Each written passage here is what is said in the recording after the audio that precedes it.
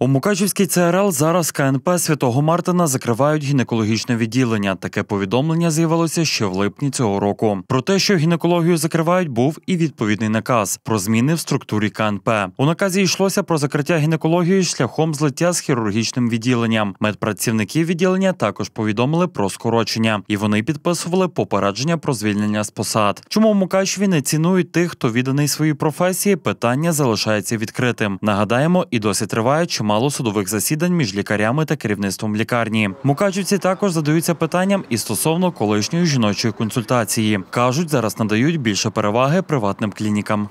Вообще было удобно здесь очень. А сейчас не очень удобно, потому что надо искать этого гинеколога и эти записи, эти очереди. Но здесь было очень удобно. Ка- зна- Мы знали, что здесь наши гинекологи находятся все в сборе, да, и каждому отдельно можно было подойти, взять номерок. А зараз треба искать. Жалко.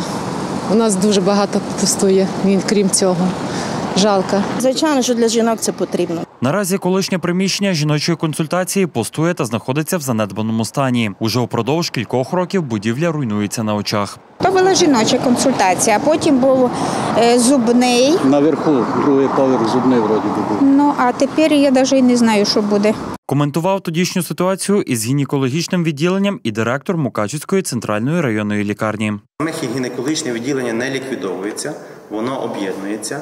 Е, Локація відділення, розташування не зміщується, воно буде не змінюється, воно буде залишатися там, де залишалося, в тому самому корпусі, в тих самих приміщеннях.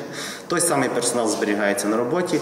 Ми розширюємо кількість лікарів, оскільки в нас багато методик не виконувалося. Наприклад, лапароскоп він з 2008 року, якщо я не помиляюся, не використовувався майже один або два рази. Тобто йде мова про те, що ми переформатовуємо роботу відділення і будемо пробувати його запускати з нуля.